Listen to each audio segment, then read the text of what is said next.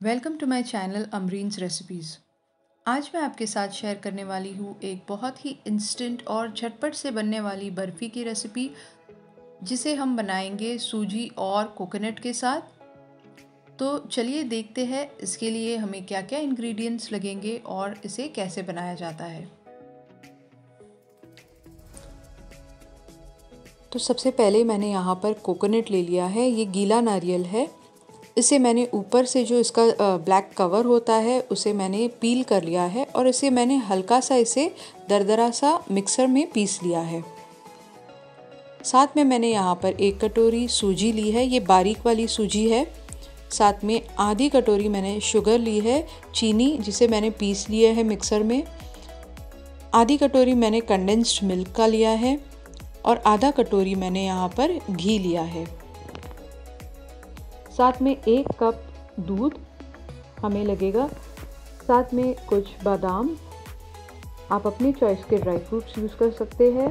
उसी के साथ इलायची और जायतू का पाउडर तो सबसे पहले कढ़ाई हम गरम करने रख देंगे और उसमें हम ऐड कर लेंगे घी।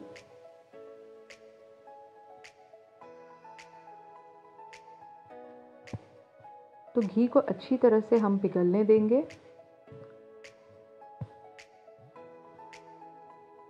तो जैसे ही घी हल्का गर्म हो जाए, हम उसमें डाल देंगे सूजी। अब अच्छी तरह से इसे भून लीजिए। तो इसमें हल्की हल्की खुशबू आने लगेगी। हमें बहुत ज़्यादा इसे ब्राउन नहीं करना है। इसका कलर चेंज नहीं करना है। तो हमें हल्का इसे भूनना है धीमी आँच पर। और जैसे ही इसमें अच्छी सी खुशबू आने लगे हम इसमें बाकी के इंग्रेडिएंट्स ऐड कर देंगे। तो देखिए मैंने दो मिनट इसे भून लिया है। अब साथ में मैंने इसमें ऐड कर लिया है कोकोनट तो वैसे तो हम कोकोनट ग्रेट करके भी ले सकते हैं पर आ, अगर आप इसे थोड़ा सा पीस लेंगे तो ज़्यादा अच्छा है। तो पीसने के टाइम पे हमें ज़्यादा इसे बहुत ज़्यादा ग्राइंड नहीं करना है हल्का हल्का ग्राइंड करना है। तो देखिए, इसका टेक्सचर आपको दिखाई दे रहा है। थोड़ा सा इसका रफ़ टेक्सचर है, बिल्कुल भी ज़्यादा स्मूथ नहीं है।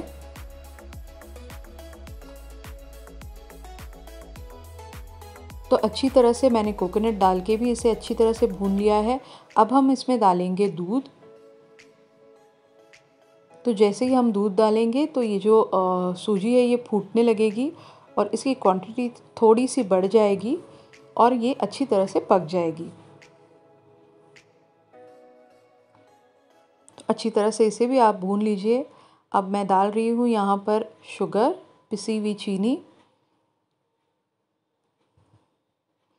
चीनी की क्वांटिटी मैंने थोड़ी यूज़ की है क्योंकि हमने कंडेंस्ड मिल्क भी इसमें ऐड करना है तो हमें थोड़ा सा ध्यान रहे कि चीनी कम डालें। अब यहाँ पर मैंने इलायची और जायफल का जो पाउडर है, वो इसमें ऐड कर लिया है एक टीस्पून।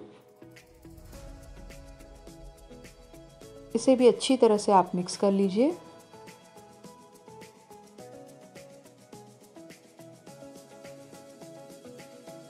अब एंड में हम डाल देंगे इसमें कंडेंस्ड मिल्क। अब अच्छी तरह से आप इसे भी मिक्स कर लीजिए। तो आप देख सकते हैं जैसे ही मैंने कंडेंस्ड मिल्क ऐड किया है वैसे ही ये आ, बिल्कुल लिक्विडी से हो गया है। पर आप जैसे जैसे इसे भूनेंगे वैसे वैसे ये थिकनेस इसमें होता जाएगा और ये जो मिक्सचर है कढ़ाई से छूटने लगेगा। तो जैसे ही ये कढ़ाई से छूटने लगे ये मिक्सचर बन के बिल्कुल रेडी हो जाएगा। और इसमें जो है थिकनेस आ गई है। इसी तरह से हमें भूनना है इसे और दो मिनट हम अच्छी तरह से भून लेंगे और इसकी गैस की फ्लेम बंद कर लेंगे। तो ये देखिए ऑलमोस्ट ये रेडी है। अब हम गैस की फ्लेम ऑफ़ कर लेंगे। यहाँ पर मैंने एक प्लेट ले लिया है सर्विंग बोल सर्विंग प्लेट ले ली है। इसे मैंने घी से अच्छी तरह से ग्रीस कर लिया है। आप कोई भी इस तरह की फ्लैट जो है, प्लेट ले सकते हैं। और घी से ग्रीस करने के बाद आप इस मिक्सचर को इसमें डाल दीजिए। तो ये देखिए, मैंने आधे हिस्से में इसे फैला दिया है ताकि जो थिकनेस है, मुझे एक इंच की थिकनेस इसमें मिल जाए। अगर मैं पूरे हिस्से में फैला दूँगी तो ये इसकी थिकनेस जो है वो बिल्कुल कम हो जाएगी। इसलिए मैंने आधे हिस्से में रखा है ताकि एक इंच की बर्फ़ी वाली फिट थिकनेस हमें मिल जाए। ऊपर से इस पर ड्राई फ्रूट्स डाल के आप एक स्पैचुला के मदद से इसे अच्छी तरह से प्रेस कर लीजिए और इसे सेट होने के लिए रूम टेम्परेचर पे रख दीजिए। तो देखिए रूम टेम्परेचर पे जैसे ही ये ठंडा हो जाता है, ये बिल्कुल सेट हो जाता है। हमें इसे फ्रिज में रखने की भी कोई ज़रूरत नहीं है। तो रूम टेम्परेचर पे ही ये प्रॉपरली सेट हो जाता है। अब हम इसे नाइफ़ की मदद से कट कर लेंगे।